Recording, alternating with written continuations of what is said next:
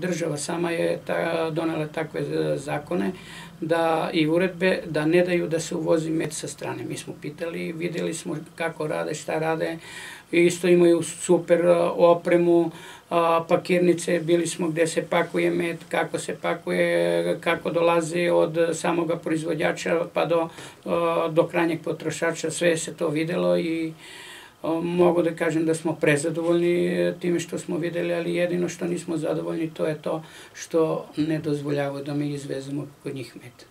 Dakle, Šta zapravo to znači? Da država svoje pčelare štiti na takav način? Da, da pa država e, štiti svoje proizvođače, svoje pčelare, uopšte mislim što se tiče njihove proizvode, oni štite. Znači prvo, prvo njihovo da se proda, pa onda ako slučajno u nedostatku oni mogu da uvezu, ali što se tiče meda, to je striktno zabranjen uvoz i tako da oni sigurno i pospešavaju mlade pčelare, mlade proizvođače koji hoće da se bave pčelarstvom ili bilo kojom vrstom proizvodnje, poljoprivredne proizvodnje, tako da i rade ljudi, stvarno rade. To je rad i rad i samo rad. Kada ste spomenuli recimo da ste videli kako se u pakirnicama radi, koliko se recimo sve to može kod nas primeniti? Ima li tu nešto što možemo da od njih prepišemo i da mi tako uradimo ovde? Pa ima, mi smo a, pre dve, tri godine bili pokrenuli a, inicijativu oko zaštite našeg a, pirotskog meda.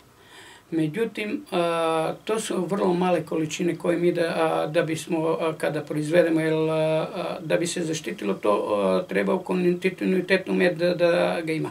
Međutim, kod nas ga ima jednu godinu, dve, trećega nema, četvrtoga ima, malo petoga nema i tako da vrlo malo i u tom pogledu nismo smeli da se uhvatimo u koštak sa time zato što mi nemamo dovoljne količine meda za, mi imamo a, što se tiče toga, ali u, u, za takvu proizvodnju, za takvo pakovanje i to, gde bi mi a, trebali na u veleprodaji to da prodajemo na u ovi lanci trgovinski koji su veliki količinama koji prodaju i tako da smo odustali od toga.